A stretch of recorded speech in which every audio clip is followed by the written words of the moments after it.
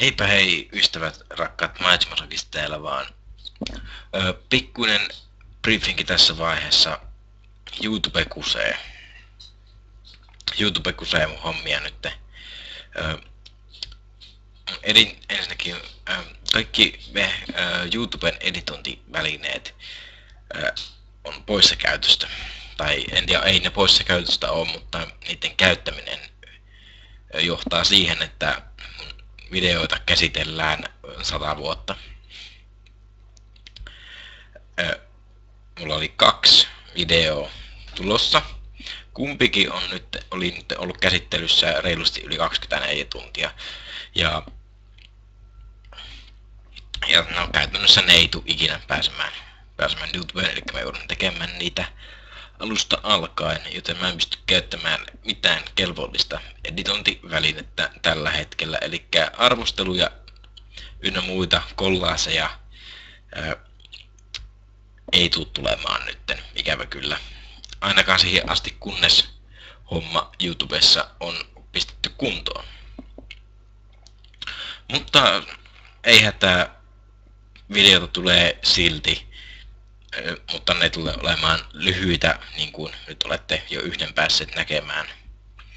Meinaan noita live-otoksia Fatality Clanin kanssa klaanisodissa. Niin niitä tuutte näkemään nyt jatkossa lähinnä, lähinnä niitä, koska en pysty tekemään muuta. Mutta toivottavasti päästään palaamaan tähän varsinaiseen asiaan mahdollisimman pian. Aivan lähiaikoina pitäisi tulla myös tuon 9.0 päivityksen, joten toivottavasti nyt sitä ennen kuitenkin päästäisiin jo jatkamaan tätä normaalia toimintaa. Mutta ajattelin ilmo, että tässä on nyt pakko tehdä tämmöinen pieni ilmoitus, että ette ihmettele, että missä viipyy arvostelut. Missä viipyy kaikki kunnon materiaalit. Tässä on pari päivää ollut täyttä taukoa, niin, niin tässä on syy. YouTube sanoi mulle, että haista vittu. Mutta mä teen parhaani silti. Mä teen kaikkeni siihen, että tämä normaali toiminta palaa mahdollisimman nopeasti. Mutta ei hätää tosiaan. Live-otoksia tuutte näkemään nyt. Nyt sitten mitä Glansodissa on tapahtunut.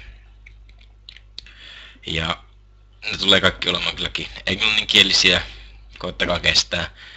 Mutta Glanin klanin kieli on meillä englanti, vaikka kaikki ei ole edes englannista tai isosta Britanniasta, niin koette, koetteko kestää se, mutta live-otoksia kuitenkin on luvassa vähemmän nyt arvosteluja siihen asti, ainakin kunnes se editointi ongelma nyt saadaan ratkaistua. Mulla ei tämän enempää.